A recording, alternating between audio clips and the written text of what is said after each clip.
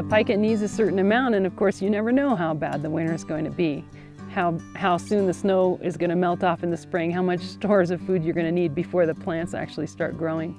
So um, pikas would, on average, store a little more than they need. A pika will store about, um, I would say, uh, a cubic meter or a cubic yard of loose vegetation under the rocks. So in places where pikas have a lot of good snow cover over the winter and it doesn't get too cold, they seem to be able to just eat whatever's available. Low, very low quality food like grasses. They can make a hay pile of grass and still survive the winter.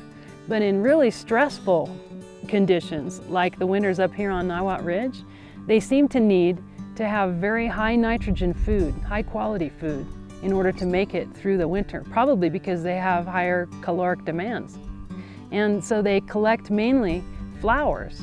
So there's a fun flower up here called Alpine Avens. It's in the rose family. It's a yellow rose, very pretty.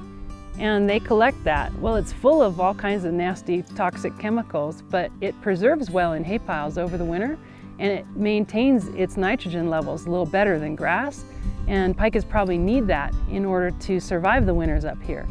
Um, there's been a great study that showed that they did need it to survive the winters up here. And what's really interesting here is that the ratio of alpine avens to grass is declining. We're seeing less and less alpine avens up here, and, and yet it's something that, that someone showed pikas need.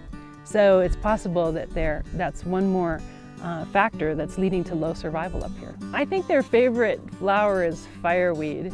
It's, um, it's got a lot of nutrients in it and not a lot of those nasty toxic chemicals I was telling you about. they, they seem to like the fireweed.